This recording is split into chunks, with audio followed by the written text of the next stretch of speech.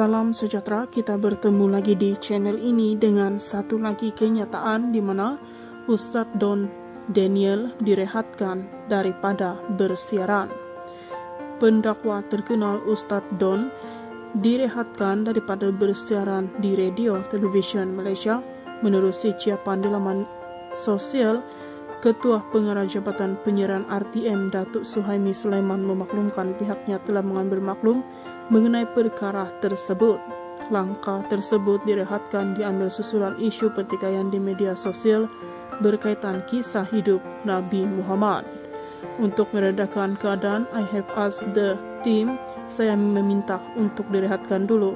Ustadz Don dari Salam Baitullah, don't ask me about what I think or feel, Jangan tanya apa yang saya pikir dan rasa, ciap beliau.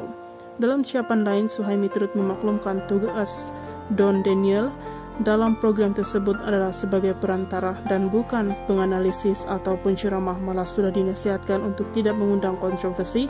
Katanya, pemimpin tertinggi pengarah juga ada di lokasi bagi menentukan semua perantara mengikut skrip. Tugas Ustadz Don Salam Baitullah sebagai kompre dan bukan penganalisis atau penceramah. Beliau juga dinasihatkan agar tidak mengundang kontroversi. Beliau akur. Pimpinan tertinggi juga ada di lokasi menentu semua kompe mengikut skrip.